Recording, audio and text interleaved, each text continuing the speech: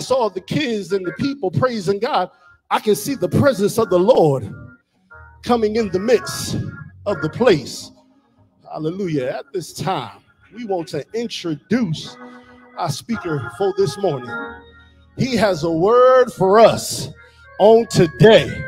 And I want you to pray for the man of God. Hallelujah. I want you to pray that God use him like never before.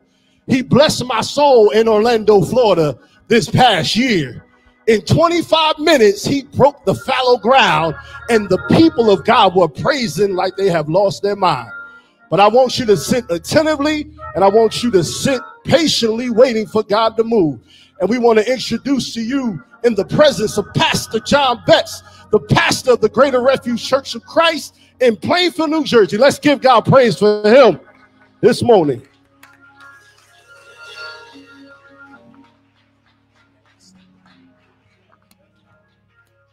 Oh, yes, Lord. Isn't the Lord wonderful?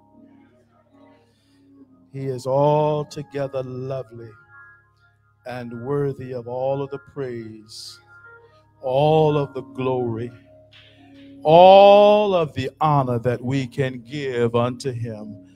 No wonder the psalmist said, Oh, magnify. Hmm, you know, when you magnify something, it doesn't change what it is, it just appears greater. So magnify the Lord with me rather than talking about the hurts and the pains, the disappointments. I'm going to magnify him. I'm going to talk about how good he is, how great he is, what he's brought me through. And so when the world sees and hears your testimony, he is magnified. Oh, magnify the Lord with me and let us exalt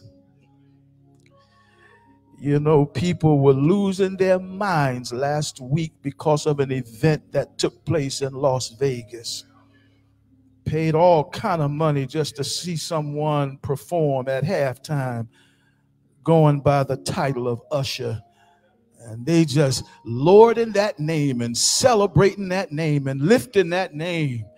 Ah, but if we could exalt one name, if we could lift one name, yeah, that name should be Jesus. Oh, how sweet the name Jesus soothes my doubts, calms all of my fears. We are so grateful to the Lord for this opportunity to fellowship with you this morning, Refuge Apostolic. It's been a while, amen, with the pandemic and so many other changes it's been a while, and we are so grateful to be here. And we say thank you to Sister Geraldine Livingston for reaching out and extending this invitation. We thank you so much for thinking enough of us to invite us into your worship. Amen. We do honor the Spirit of Christ as head in our life. To the pastor here, our big brother and friend, Bishop Vaughn McRae. Praise the Lord, the angel of the house. Praise the Lord. We honor Lady McRae. Praise the Lord. And, and I will say that I, my father in the gospel, Bishop Michael Greer, and I had three brothers who I always look up to and respect. Two of them the Lord has called home Elder Alfred Qualls, Elder Jules Jenkins, and Bishop Vaughn McRae. Those are my three big brothers. And so, amen, I am honored to be here today in support of my big brother, Bishop Vaughn McRae. We honor, amen, our good friend, Elder Johnson. Praise the Lord. So good to see you. Looking good. Praise the Lord. Elder Golden, good to see you. It's been a while. Praise the Lord. God bless you too. Amen. Elder McRae. Praise the Lord. Seems like we've been together all weekend. Praise the Lord. God bless you to all of the wives. Amen. To the church mothers, the missionaries, to all of the deacons, and to our wife, Sister Loria Betts. Praise the Lord. I didn't know if she'd be able to keep up with me this weekend, because of the pre the Northeast Congress rally. Uh, we were on the go all day Friday, all day Saturday, and here we are now. I didn't know if she'd keep up, but she was with me step for step. Praise the Lord for her and for our, one of our grandsons.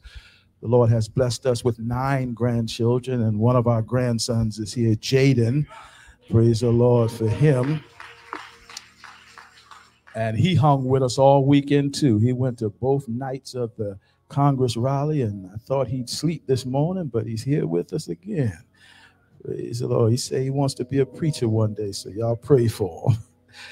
He knows not what he asks for. pray for him, amen. I thank God, amen, for my wife. Uh, the Lord has blessed us. Uh, this November, if the Lord spare life, we'll see 48 years together. Praise the Lord. We we dated for six years. Back then they called it courting. That's how old it was. We courted for six years. And I say that to any young people that may be listening, you can date and be holy. You can. You can. So we courted for six years, and this November we'll be married for 42 years. And so that's why I say 48. The Lord has been just that good. Young people, anybody that's not willing to put God first, then you need to keep moving. Because when it comes to relationships, when it comes to marriage, it won't always be peaches and cream. There's going to be times when you don't even want to see the other party. But if they love God more than they love you, no matter how tough things may get between you, there's going to be a reconciliation because God is about reconciliation. Find somebody that loves the Lord more than they love you, and you'll be all right. God bless you let us go to the word of the Lord in the Old Testament, in the book of Ezekiel. And I'm going to read three different passages of scripture from Ezekiel. First one will be Ezekiel chapter 1 and verse 1. Ezekiel chapter 1, verse 1. Then we will go to chapter 3, verse 4 and verse 5. And then our final scripture will come from Ezekiel chapter 37 and verse 3. All right, so those three passages of scripture Ezekiel chapter 1, verse 1, Ezekiel chapter 3, verse 4 and verse 5, and Ezekiel chapter 37, verse 3. All right, beginning at Ezekiel chapter 1, verse 1. Now it came to pass in the 30th year in the fourth month, in the fifth day of the captives, as I was among the captives, by the river of Chebar, that the heavens were opened, and I saw visions of God. Ezekiel chapter 3, verse 4 and verse 5. And he said unto me, Son of man, Go, get thee unto the house of Israel, and speak with my words unto them. For thou art not sent to a people of a strange speech and of an hard language, but to the house of Israel. And in Ezekiel chapter 37 and verse 3, and he said unto me, Son of man, can these bones live? And I answered, O Lord God, thou knowest.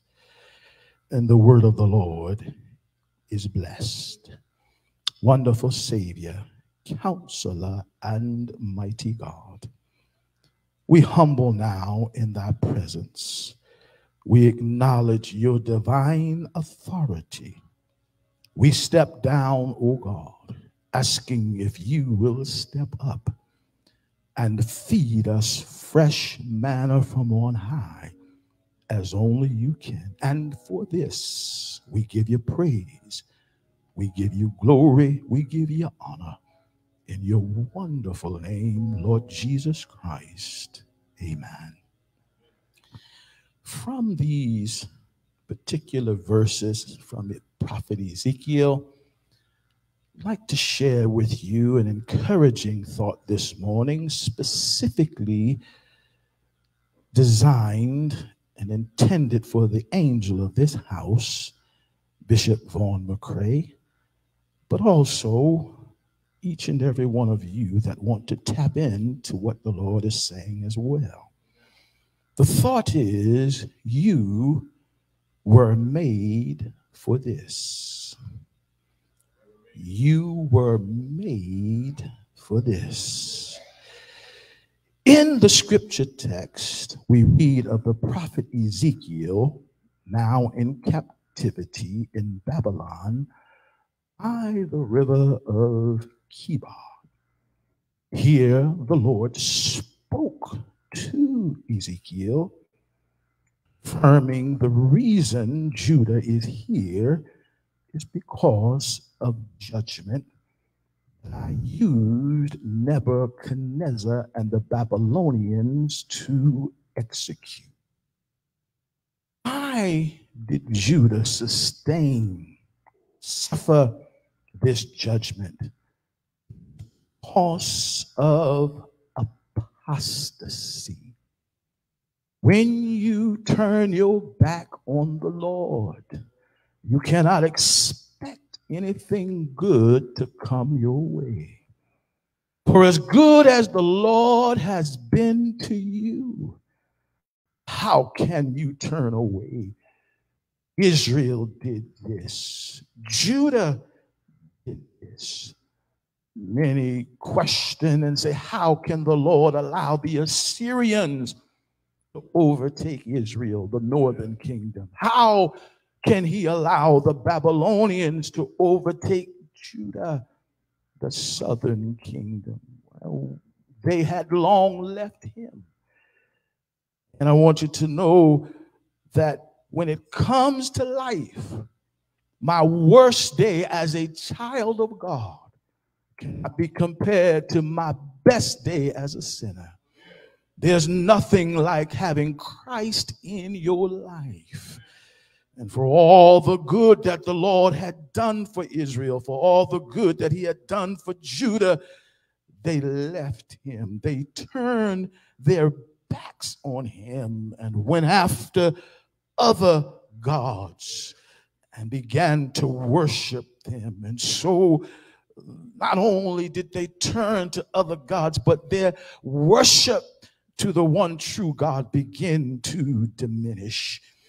And I submit to you today that there is nothing new under the sun. There are those who are afraid of COVID. They're afraid that it is something we've never seen before and we don't know what to do with it. But I submit to you, the word of God has told us there is nothing new under the sun. It may have had a different name, but it's been here before. Praise the Lord. And because of fear, some have diminished their worship, some have diminished their sacrifice to the Lord. But I say to you today, this is where I stand. COVID is not greater than my God. Thank you, Jesus. I will respect it. Yes, yes, I will take safety precautions. But beyond that, I will trust my God. Some trust in chariots, some in horses, but we will remember the name of our God, for they are brought down and falling. But we are risen and we stand upright. Save, Lord. Hey, glory. Let the king hear us when we call. I can't allow what's going on in this world. I can't allow COVID to diminish my sacrifice and my worship unto the Lord. Praise the Lord. They not only diminish their sacrifice, but they diminish the frequency of their sacrifice. You have folk today that love the Lord when he first brought them out of darkness and we're willing to give him anything. I'll give you my whole paycheck, Lord. I, I'll give you my whole week. I'll make it to the house of God. But now, 30, 40 years later, Lord, take what I give you. They diminished in their sacrifice, they diminished in their frequency. And when they left Him, praise the Lord, the Bible tells us in Ezekiel chapter 9 and verse 3 and the glory of the God of Israel was gone. You leave him, don't expect him just to hang around. Praise the Lord. Because when you leave him, there's somebody else that wants. Ezekiel chapter 10, verse 18 says, Then the glory of the Lord departed. I don't know about you, but I don't want to live another minute in this world without the glory of God in my life. I don't know how you feel about it, but I know when He wakes me up in the morning and I have my prayer time with Him, my devotion time, there's nothing like His presence. I don't wait till I get to the sanctuary to feel him. No, sir. Hallelujah. But when I wake up in the morning, I want to reach out to him.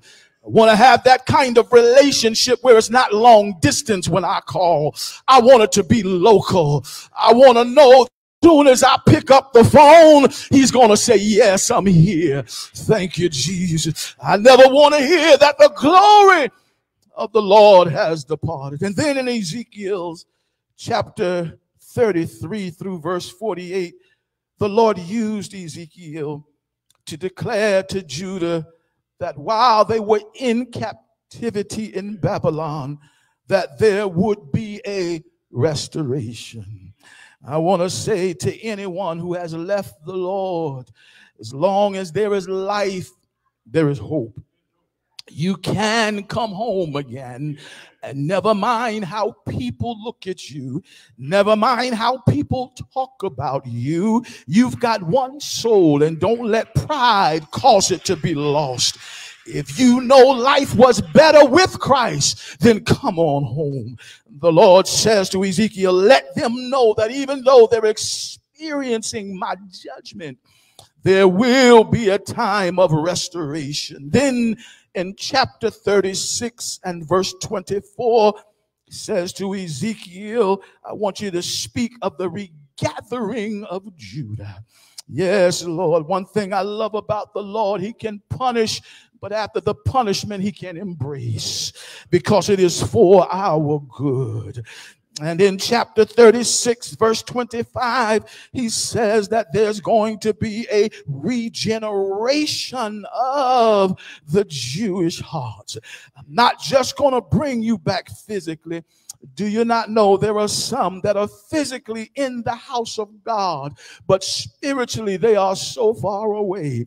They come, they wear their uniform on any given Sunday. They will give their tithes, they will give their offering, but in their hearts they are so far from the Lord, living off of yesterday's anointing. When the Spirit moves, they will wave their hands off of yesterday's anointing. But the Lord said, I'm not just going to bring you back as a body, but I'm going to regenerate your heart. That's why David in his confession said, renew a right spirit within me. Oh, thank you, Jesus. Why? Why would I want to fool around and be lost going through the church? I don't want to be lost after 40, 50 years of coming to the house of God. David said, renew a right spirit within me. I need to be right with the Lord. I don't want to be a title and no spirit. Ah, glory. There are people who think that the preachers are preaching on the congregation when they talk about sin and walking unrightly. But I want you to know it's not just for the congregation. The Lord is speaking to the preachers as well that we too have got to mind our step. We've got to be careful how we walk. And so now I know as we are celebrating, amen, the angel of this house, Bishop McRae, some may wonder, well, what does this have to do with a pastoral appreciation celebration? Well, let me take you back to chapter 1, verse 1, the first verse that we read today from Ezekiel, and there is a significant number mentioned in Ezekiel chapter 1 and verse 1, and that is Ezekiel said, In the 30th year, in the 30th year, when the Lord entered covenant relationship with Israel at Mount Sinai, in Exodus chapter 19 and verse 6, the Lord said this, and ye shall be unto me a kingdom of priests. The Lord had plans for Israel, and it included someone serving as priests. And when the Lord established the priesthood, he told Moses that the priests are to come from the tribe of Levi, the sons of Aaron. Not only must the priest be a Levite and from the family of Aaron, also they must only be males and they were to be a minimum age of 30 years old when they began their service you will find this recorded in numbers chapter 4 and verse 3, where you read from 30 years old and upward, even until 50 years old, all that enter into the host to do the work in the tabernacle of the congregation. The Lord established an age range. Now, now, if you read the scriptures and take time with it, you'll find that David altered that in his day and took it down to 25. But I don't believe David was being contrary to the will of God. When the Lord spoke, 30 to 50, he was giving 30 so that it's a sign or a stage of maturity.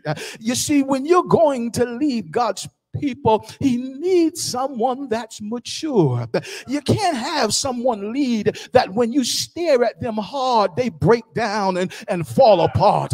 You, you can't have someone lead that when people turn their back on you, you give up. That's not how God works. When he sends you, he's already prepared you. My God, hallelujah. He doesn't send us unprepared. So he was working within the spirit. The, the Bible tells us that the letter killeth. Sometimes we hold so strict to the letter till we miss the intent. David didn't miss the intent, and that's why he was able to adjust to 25. And then there are those who want to, amen, put the priest out to pasture once he reached 50 because Numbers 4 and 3 says 50. But the Lord didn't say his time was over at 50. He just said, let him not serve. He could assist. This is because at that time he may not have been physically strong enough to deal with the sacrifices, the animal sacrifices that were brought. And so he could assist the younger priest. And again, it is the spirit of what the Lord is saying. But look at that number 30. Oh my God. In the 30th year, Ezekiel writes, in chapter 1, verse 1. Amen. Ezekiel, it is believed, amen, when he went into the Babylonian captivity was somewhere about uh, 35 years old. Praise the Lord. And so he says in the 30th year, this should have been his time uh, to serve in the temple. What he has been prepared for. I, I, wonder, is there anyone in the house uh, who's ever had the experience where you have been prepared for something and when it comes your time, everything is changed and all that you have prepared for is no longer available. Can you imagine being a teenager? 16 and preparing to drive. You're looking to obtain your license to drive. And after you've done all of the written tests and after you've done the test, amen, the physical test of driving and parallel parking and K-turn and everything else, you go home and think, I'm going to get my license. And you get a, an email that says, as of today, we have changed the number number from 16 to 26. You've got to wait 10 more years. Can you imagine how disappointing? disappointing and deflating that would be. Well, look at the prophet Ezekiel. He's been prepared from his youth to be a priest in the temple. But now the Babylonians have come and removed them from the land. And Ezekiel cannot enter the temple. He must sit by the river Chebar. And while sitting by the river Chebar, the Lord talks to him and says, listen here. I know you may have been thinking that you were going to serve in the temple, but I, I've got a different ministry for you. I've got a different calling on your life. And so what I want you to do is to speak to my people. How many of us, and I know, amen, the pastors of this day and time can identify with this.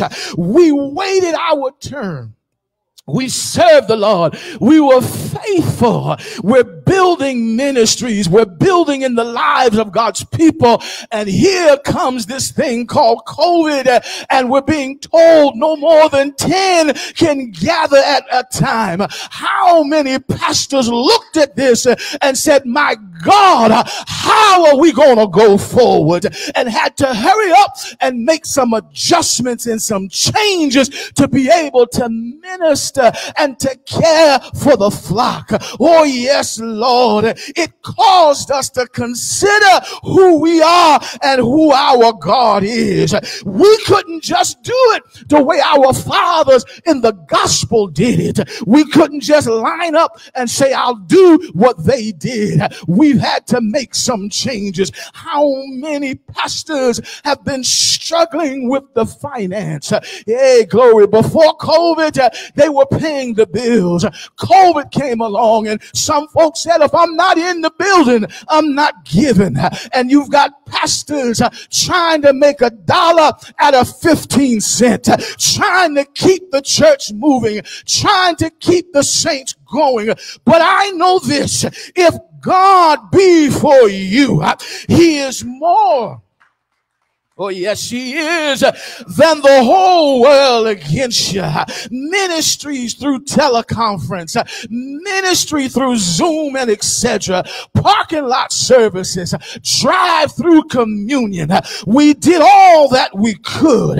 And then as it subsided and we came back into the sanctuaries, how many saints have still stayed away and the pastors Uh, amen, are reaching out and pouring out and giving. Uh, and yes, it is a different season. Yes, it is a different time. But the Lord said to Ezekiel, Preach to my people. Uh, tell them what thus saith the Lord. Well, Lord, I know that I've been conditioned to go to you because if you understand the roles of the priest and the prophet, the priest would go to God for the people uh, and the prophet would go to the people for God. So now Ezekiel's role uh, has changed 160.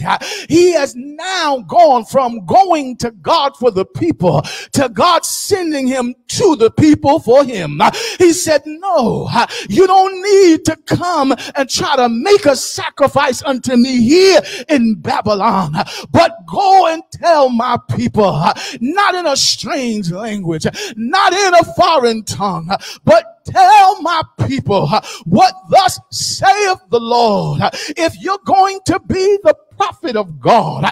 You've got to say what the Lord tell you to say. And it's not always what people want to hear. I know in this day and time, you've got mega churches with mega preachers who are preaching health and wealth, who are preaching how to start your own business, who are preaching self wealth.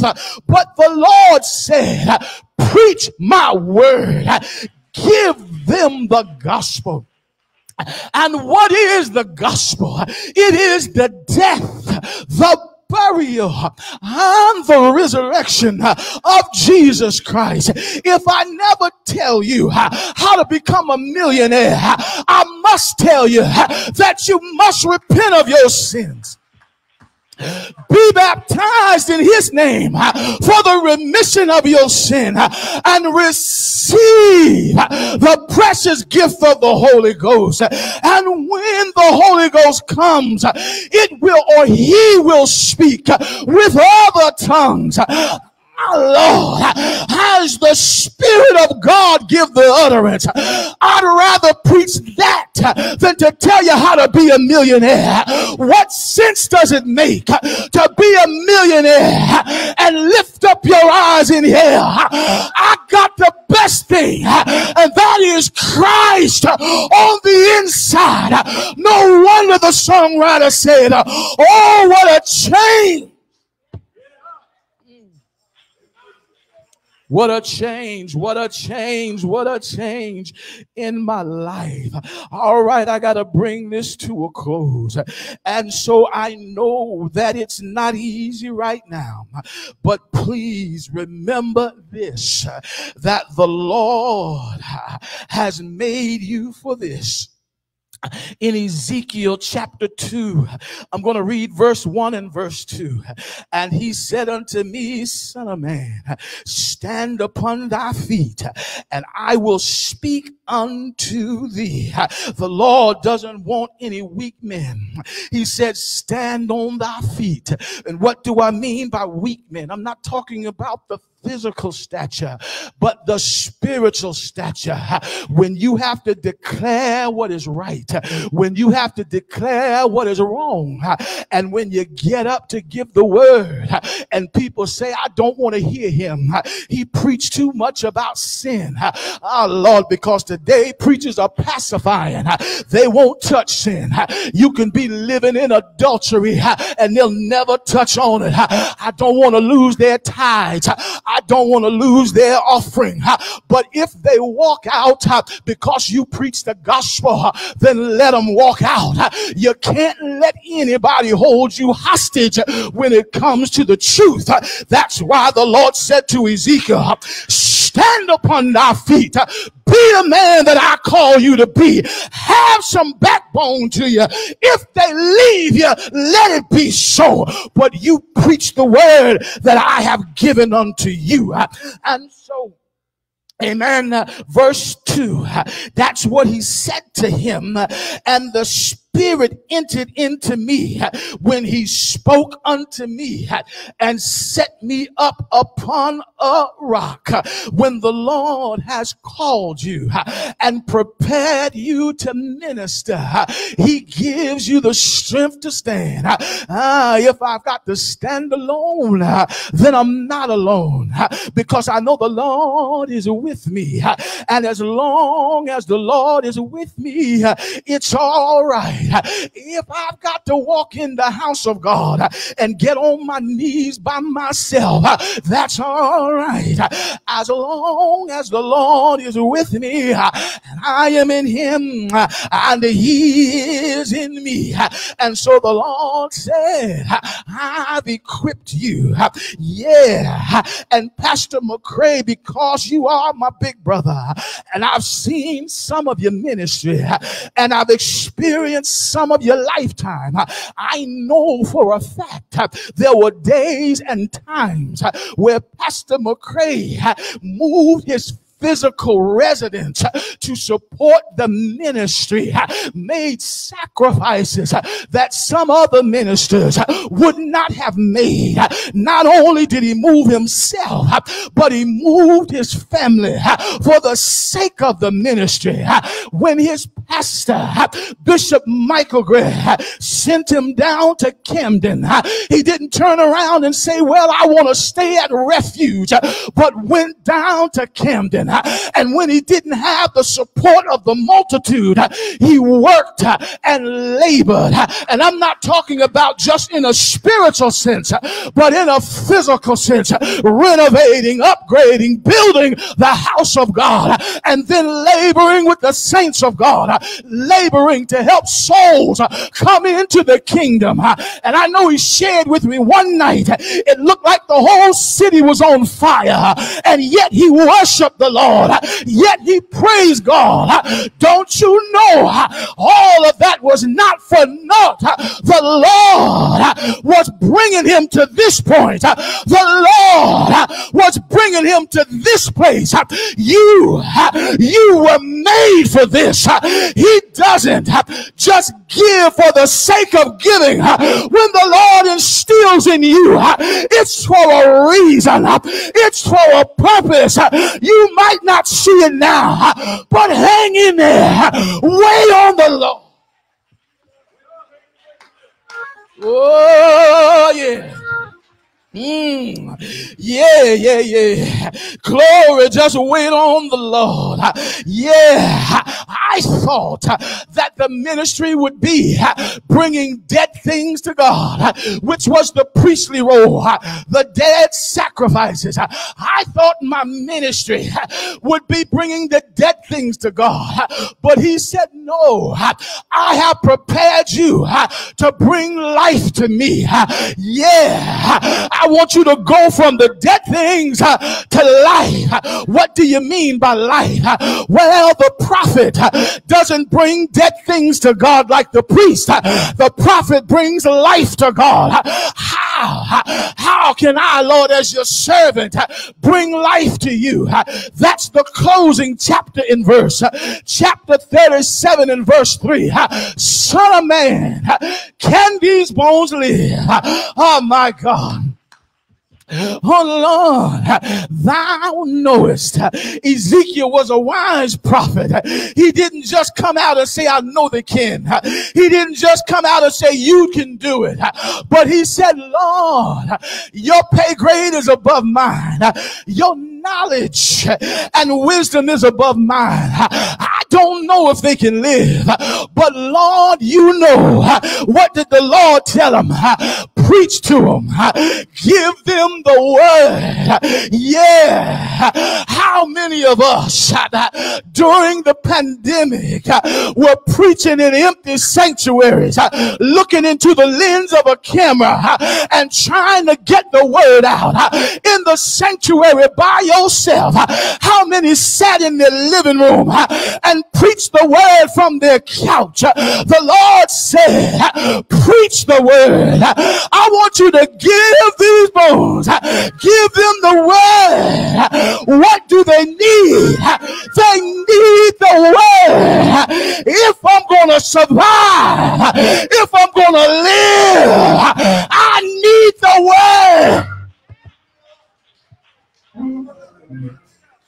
Mm. Oh Lord, glory, hallelujah.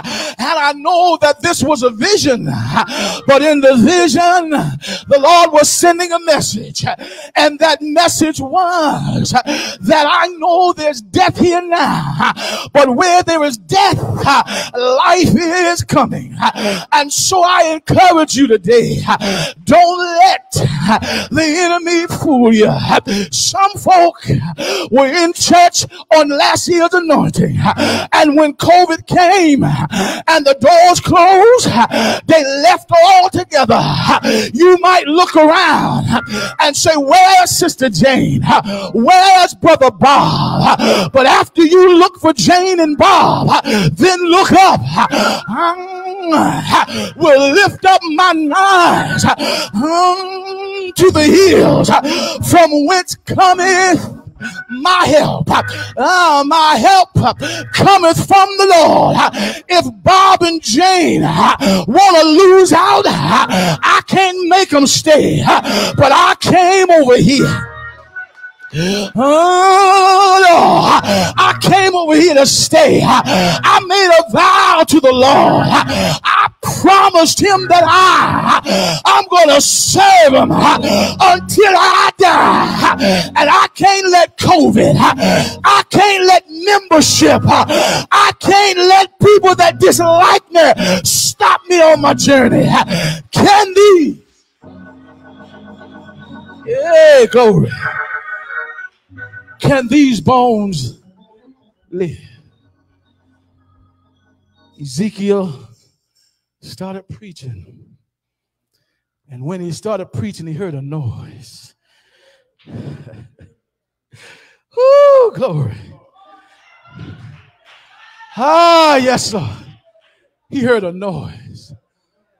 Now, if you want to speculate what that noise was, you go ahead. Because some people think he heard the bones rattling as they were coming back together. Other folks think that he heard the Spirit of the Lord descending to bring the bones back together.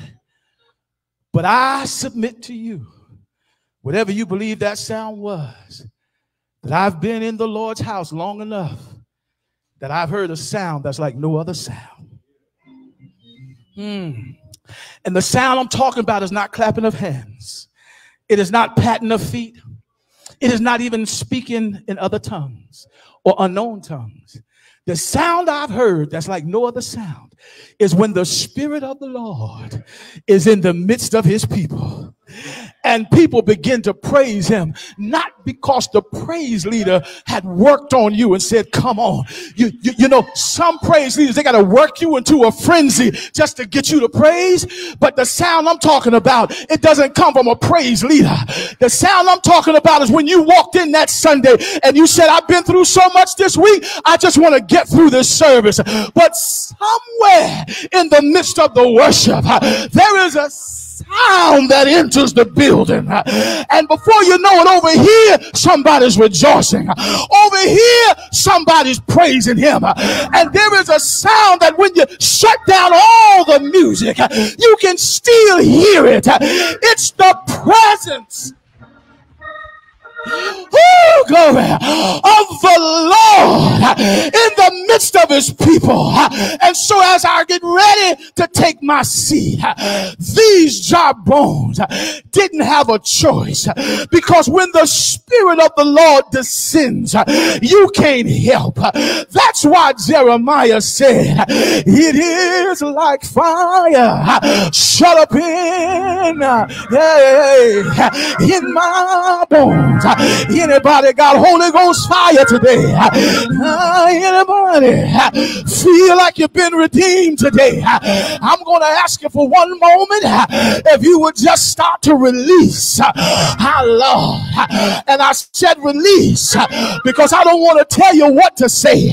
But if you could just for a moment release, I believe if we just release for a moment that the Lord will allow that sound in this house right now, anybody that just wants to release, you want to cut loose and let out of you what belongs to the Lord. Anybody that just want to cut loose right now, look at what you've been through. Look at how hard it's been. Look at how the enemy has tried to destroy you. But you're here today. The songwriter said, somehow, somehow, I've got to make this journey. Somehow, somehow, you were made for this. You were made to endure what's happening right now. The Lord equipped you for what's happening right now. Those of you that are having financial challenges right now, the Lord equipped you for that. Hallelujah. Don't just go run into the bank. Can't meet my bills. Let me go get a loan. That's just putting you in deeper debt. They that wait upon the Lord.